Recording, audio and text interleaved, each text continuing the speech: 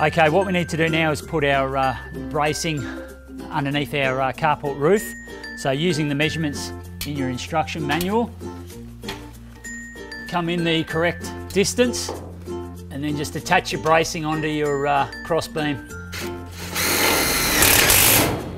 Once you've done one side, then attach the other side. And then just need to do the same, working in a line straight down the carport. Okay, what we need to do now is put our fascia on the outside of our carport.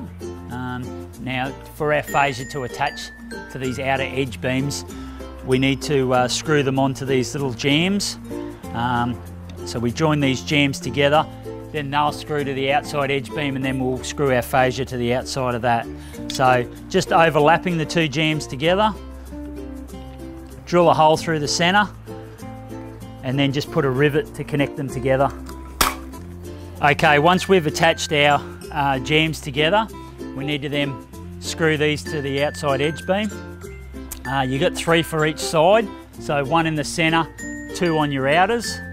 Uh, just make sure it's flush with the top and bottom of your edge beam.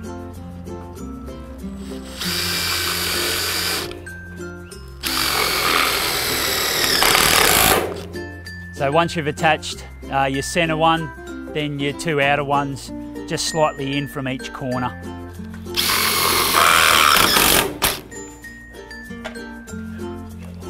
Okay, once we've got those little jambs attached to our outer edge beam, now we can screw our, um, our fascia board to that. Now you can use a Wafertech screw, you can use rivets, they're all provided in the kit, um, whatever you want to use. Um, but we'll be screwing this fascia board onto these jambs. So, line your piece up. You want to be close to your, your corner here on the carport, um, but obviously the halfway point is that jamb there, so um, we've got to be half on that. Don't be too concerned if you're a little short here on your edge beam. Um, we're going to have a corner flashing that covers all that. So once you're happy where you've got that in place,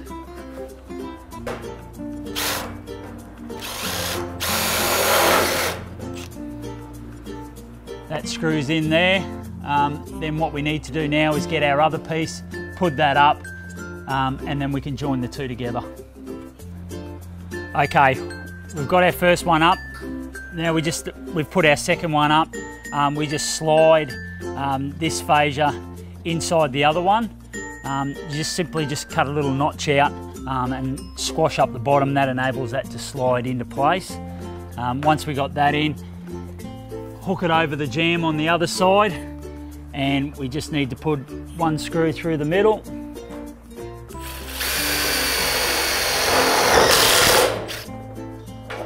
That joins those together and then screw on the end and that's locked our fascia all in place.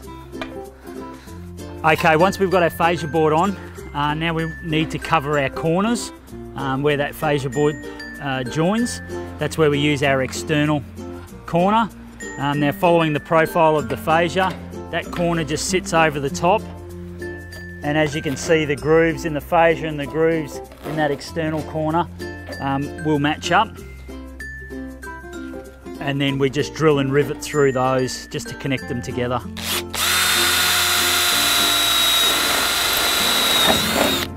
Idea is to get one side lined up. And you can manipulate these and twist them a little bit if your other side isn't lining up perfectly.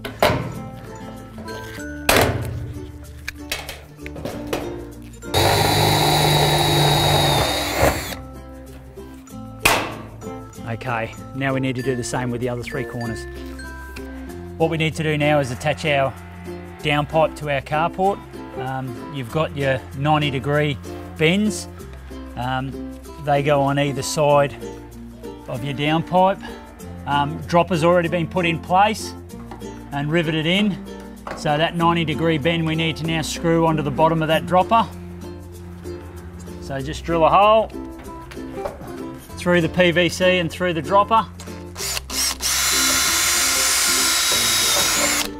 Like so. Okay, we'll need to put another screw on the other, other side. That just locks that in place.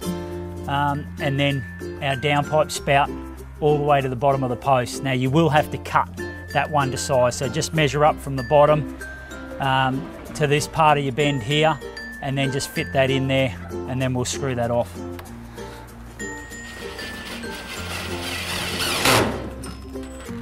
Okay, once we've cut our downpipe uh, to the correct length, that just slides up underneath into that 90 degree bend.